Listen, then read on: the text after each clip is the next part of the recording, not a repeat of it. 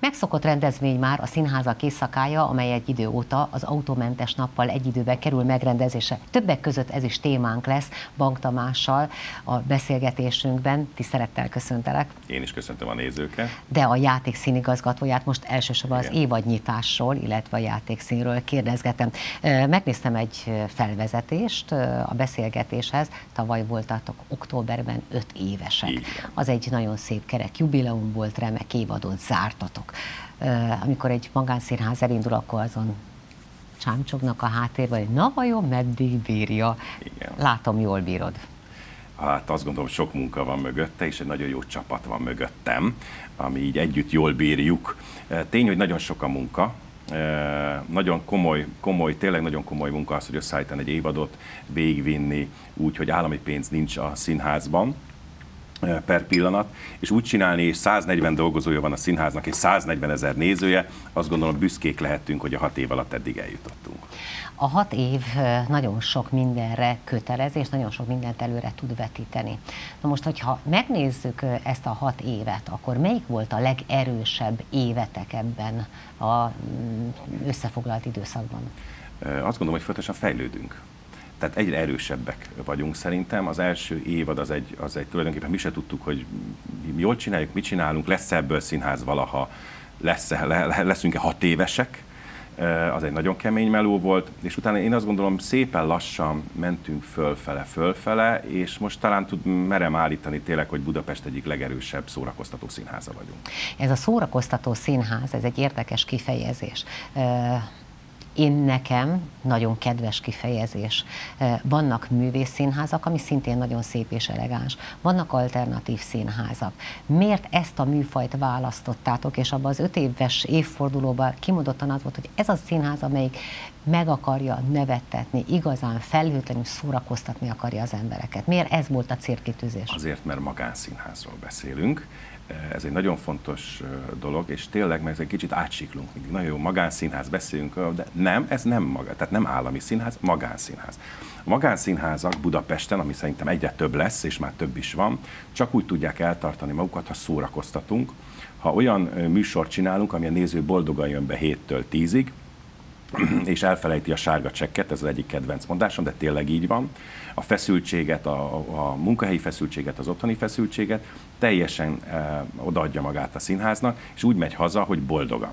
Ezt csak így lehet csinálni magánszínházként. Természetesen nekem is van terve, és csináljuk is, hogy elgondolkodtató előadásokat is csinálunk, az East Wiki boszorkányok, a Virágot a Virágot a jövő évadban lesz a Táncos a sötétben. Tehát egyre több olyan előadást csinálunk, miután kineveltük a nézőinket, ezt a 140 ezer nézőt, akik már bíznak a vezetésbe, bíznak bennem, bíznak a játékszínben, hogy olyan színvonalat kapnak, olyan színészeket kapnak, ami érdekli őket, és most már merek afele is nyúlni, hogy igenis vannak olyan előadásaink, ami nem végig kacagós, 7-től 10-ig, akár végig sírós, de az is szórakoztató. Én azt is szórakoztatónak gondolom, ahol, ahol úgymond drámai helyzet van, és nem vígjátéki helyzet van. Szerintem az is szórakozás, hogyha az ember úgy kiadja, akkor kisírod uh-huh. magad. Akkor úgy kiadod magadból mindent, akkor az is Átmosódik a szervezet Igen. Én ezt is szórak, tehát a, a szórakoztatás alatt én azért nem azt nézem, hogy most csak, hogy csak vígjátékokat játszik a játékszín, hanem azt gondolom, hogy egy olyan szórakoztatás, ennek egy átfogó egész egészét nézzük, ahol bizony az van, hogy 7-től 10-ig, ha most vagy sírunk, vagy nevetünk, de jól érezzük magunkat, és elfelejtjük a napi gondokat. 140 ezer fő. Ezt a számot jelölted meg. Így van. Ezt hogyan kell értelmezni? Nálam is, amikor nézettséget kérdeznek, akkor, Igen. és elkezdem magyar, muszáj vagyok elmagyarázni, hogy ez mit is jelent. Mit jelent nálatok ez a 140 ezer fő? Ez nagyjából azt jelenti, hogy évente mi a 440-450 előadást csinálunk meg, tájakkal együtt, tehát ebben benne van az, hogy mi elmegyünk vidékre és előadásokat csinálunk, az most kb. szerintem 50 darab volt ebben az évben, és a 140 ezer néző, ez így együtt az egész, tehát nem csak Pest, hanem ez egész Budapest, egész Magyarország, így gondolom. Meg még a határon túl is, mert láttam aradi előadásokat Határon túl is, is nemrég jöttünk meg Aradról, ha kettő darab előadást csináltunk a Tied a világból, és nagyon nagy sikerrel. Tehát abszolút járunk, így van határon túlra is.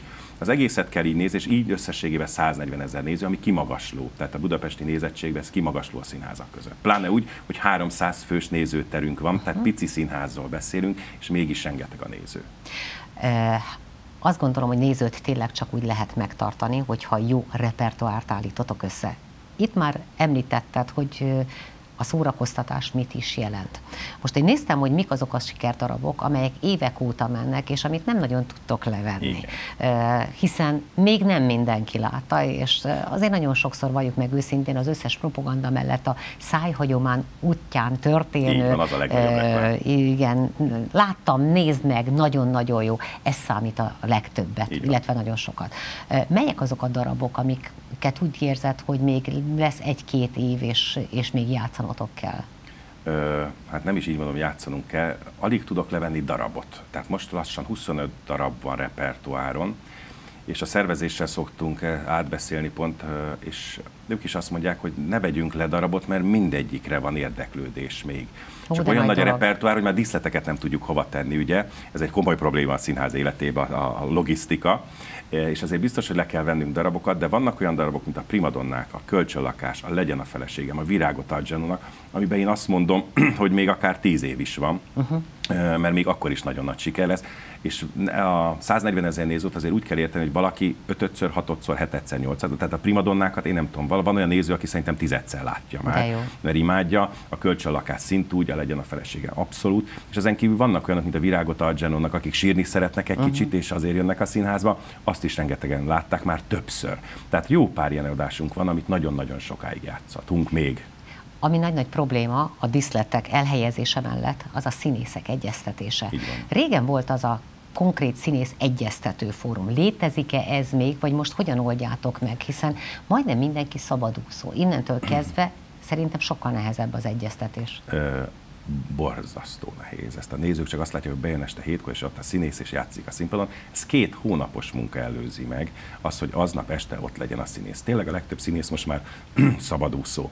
Ez van egy művészeti titkárunk, és az összes színháznak művészeti titkár van, akik hetente összeülnek, hetente beszélnek, és folyamatosan egész nap a telefonon vannak, és osztanak, szoroznak egy barzasztó nagy táblázat, ez Pesten én nem is tudom, talán ezer színészt érint, akik ide-oda teszegesszük, ide, ott van, akkor az elengedtük. Tehát ezek szerint a művészeti titkároknak van egy nem kimondott szövetsége? Abszolút. Abszolút, Azért és ez így, így van, és azt gondolom elképesztő munkát is végeznek, mert egyre több az olyan színház, ahol egyre nehezebb egyeztetni, ahol társulati tagság van, ott könnyebb, ugye az prioritást élvez, uh-huh. nekik ott kell lenni és csinálni kell a színházat. De a legtöbb színházban már nincs, és, ez, és a társulati tagokból is ugye hívunk mi magánszínházak, meg olyan színházak, ahol nincs, társulá, nincs társulati tag, ezért az egészet összeegyeztetni borzasztó, borzasztó munka, két hónapon át tart alapvetően. Most azt nem tudom, hogy jól értettem hogy most 25 olyan darab van, amit nem tudtok levenni, Igen. hanem folyamatosan játszatok. Hány új darabbal indítottátok az mostani szezont, vagy évközben állnak be mindig az új darabok? Évközben állnak be mindig az új darabok. Ezt a szezont a 2018-2019 négy új bemutatót gondolunk, sőt lehet, hogy öt lesz, ez most van szervezés alatt, mert lehet, hogy egy mesejáték is egyszer csak megjelenik a repertoáron, mert van kérés arra, hogy legyen mesejátékunk is. Úgyhogy négy új premierünk lesz. Az elsőt már próbáljuk, tehát ott már folynak a próbák, aminek október 12-én lesz a premierje. Ez a Menopauza című musical, ami igazából ez egy tabu téma, ugye? De mi pont azt próbáljuk négy fantasztikus színésznővel, Hernádi Culák Andrea, Nára Jerika és Tóth Enikő szereplésével, és Talós Rita rendezi a darabot, és pont azt próbáljuk bemutatni, hogy hát van élet a halál után, eh, hogy így mondjam. Én férfiként könnyen beszélek, tudom, de, de nagyon sok de hölgyel beszéltem, téma, hidd el, nagyon, nagyon sok uh, hölgyel beszéltem ez ügyben, és uh, ez egy nagyon érdekes dolog. Képzel, nemrég volt a Pozsonyi piknik, eh, ahol mi ott szerepeltünk, és már megvették az összes egyet a menopauzára, mert olyan nagy érdeklődés van iránt, ez egy amerikai musical, Jamie Landers írt ebből uh-huh. egy musicalt, 27 világsláger fog benne megszólalni, a legnagyobb világslágerek, amit a hölgyek fognak énekelnek, táncolnak, van egy nagyon helyes kerettörténet, Hát erről fog szólni, de úgy, hogy én azt gondolom... Szerintem hatalmas siker Én, én remélem, hogy az lesz, de természetesen azért csináljuk, hogy igenis bebizonyítsuk, hogy a, hogy a hölgyeknek nem kell elkeseredni, ha ebbe a korba eljutnak, vagy ez történik velük, hanem igenis attól még ugyanolyan édesek, aranyosak, szépek, és szeretjük őket. Remélem, a, nem csak a nőket, hanem a férfiakat is meg tudjuk győzni Reméljük. a színdarab kapcsán. Egyébként van-e olyan statisztika, hogy női vagy férfi néző, majd visszatérünk mindjárt a darabokra. Tehát például például erre? Házas párok mennek el, párok Nők. mennek el, nők? Nők. Nők. Mindig nők veszik a jegyet. A nők viszik el a férjüket, párjukat, testvéreiket, fiaikat, de alapvetően nők veszik, 70% szerintem majdnem a női jegyvásárló. Az más kérdés, hogy este párosával uh-huh. jönnek, de alapvetően nők veszik a jegyeket. Ez is egy érdekes dolog. Igen. Ez volt az első bemutató. Így van. Nagy siker lesz. Reméljük, így van, lekopogom, igen, reméljük. Menjünk lesz, tovább. Igen. A következő bemutatónk, és akkor vissza lehet térni arra, hogy egy igazi drámát fogunk bemutatni. Ez a Táncos a Sötétben című darab. Ez sokaknak mond valamit, mert ez ne, volt ebből egy nagy film, egy musical a Lars von Trier rendezésében, ami egy egész ilyen eh, kultfilm lett belőle. A Björk volt a főszereplője, és ő is énekelt benne. Nálunk Botos Évi fogja játszani a főszerepet, és Horgas Ádám eh, rendezi. Na ez olyan darab lesz, amivel én azt gondolom, hogy ez ilyen sírós lesz. Uh-huh. Ez is zenés darab lesz, lesznek, benne zenék, Szemenyei János írja a zenét hozzá. Eh, én azt gondolom, ez egy olyan téma, ami nagyon izgalmas, érdekes, de sok nevetni való nem lesz benne. Uh-huh. Sőt, a vége is azt mondom, hogy alapvetően nem happy endes vége van. Sőt, és egy nagyon izgalmas kihívásnak tartottam, amikor az Ádám megkeresett ebben a darabötlettel, és azt mondtam, hogy legyen, mert igenis szükség van egy repertoárba arra is, hogyha valaki elmélyülni akar. Na, itt nagyon el lehet már mélyülni, és azt gondolom, itt lehet sírni is, és el lehet gondolkozni a világ nagy dolgain. Nem tudom, hogy erre kik fogják venni a jegyet, majd Igen. kíváncsi leszek, hogy Én milyen is. lesz a fogadtatása Igen, a nézők részéről. Lapozzunk tovább. Igen. A következő bemutatónk, ez az eh, Noel Coward Könnyed erkölcsök, Eh, Ebből szintén volt egy fantasztikus film, Colin Firth, eh, Jessica Biel és Christine, Christine Scott Thomas főszereplésével.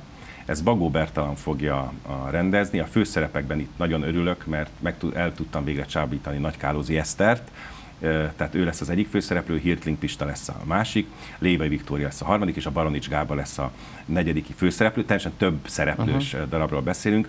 Ez egy kicsit olyan, mint a Büszkeség és Balítélet című film volt.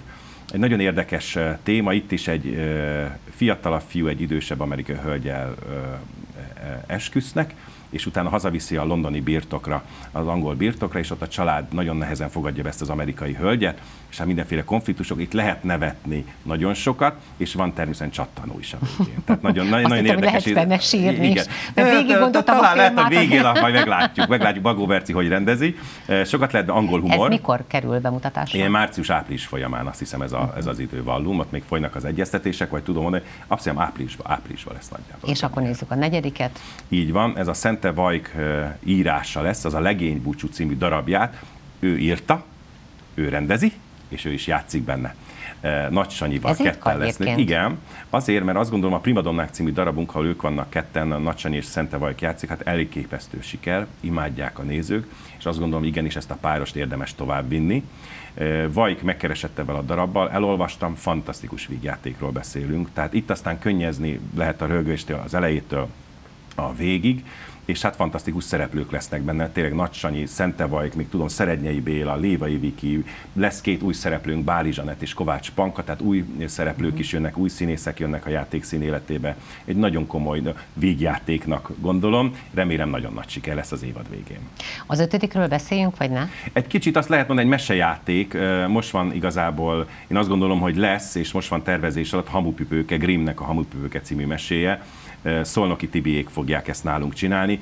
Nagyon nagy szereposztás, az a különlegessége, hogy ezt Ausztriából lett áthozva, osztrák koreográfus, osztrák díszlettervező, jelmeztervező, fantasztikus látványvilág lesz, igazi mese-mese, ez is zenés lesz. Reméljük, hogy ez nagyon fog tetszeni a fiatalabbaknak. Nézem közben az időt, mert nagyon-nagyon fut. Igen. Szentre Vajkról még csak egy mondatot.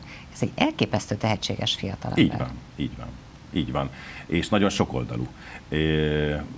Nagyon jó, lát, nagyon jó író, tehát ez a, a darabokat is ír, fordít is, rendez is. Játszani már nem mondta, nagyon nem szeretne, ezt azért mondtam én is, és együtt beszéltünk meg, hogy játszon is, mert ezt nagyon magára írta, vagy nagyon, uh-huh. nagyon nekivaló ö, szerep. Ö, Én azt gondolom, hogy nagyon-nagyon itt van a szakmába, és hála Istennek együtt dolgozunk sokat. Örülök neki, és akkor visszatérünk egy pillanatra a színházak éjszakájára. Igen. Mivel készültök? Hát szeptember 22-én lesz a játékszínben a Színházak éjszakája. Három órától évfélig lesznek programok, lesznek mese délután, tehát gyerekeknek, ha mesélni fognak a színészek, lesz vers à la carte, az egy nagyon helyes program, és most már kérik a nézők, hogy legyen. Ez Hirting Pista vezetésével négy-öt színész verseket mond, de mindig úgy mondják a verseket, hogy a nézők kérik. Mi választunk verseket, azt hiszem 15-20 vers van így repertoáron, és utána a nézők döntik el, hogy milyen stílusba mondják el, imádják. Tehát ott aztán nagyon nagy szórakozás szokott. Alig tudjuk abba hagyni a programot, mert mindenki egy, még egy pici részletet belőle. Nem, Isten Egyből. őriz, az nem. Nem, azt majd ott szeptember 22-én, akkor kell eljönni megnézni.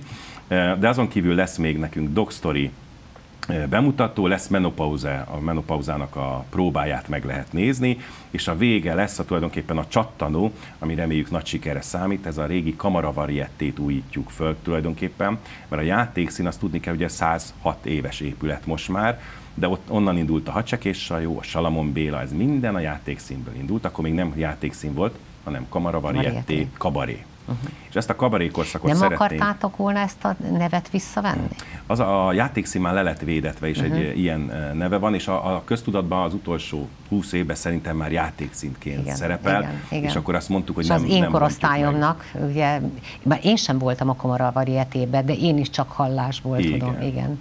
És en, ez lesz 9 óra kezdéssel, bűvészek, eh, akrobaták, énekesek, és Gálvölgyi János lesz a konferencié. Ó, de jó. Tehát szerintem egy nagyon izgalmas vállalkozás, most terveződik, hogy hogy néz ez ki, de reméljük nagyon fog tetszeni a nézőknek. Sok-sok-sok-sok sikert Nagyon kívánok szépen nektek, és köszönjük. köszönöm, hogy itt voltál. Én köszönöm.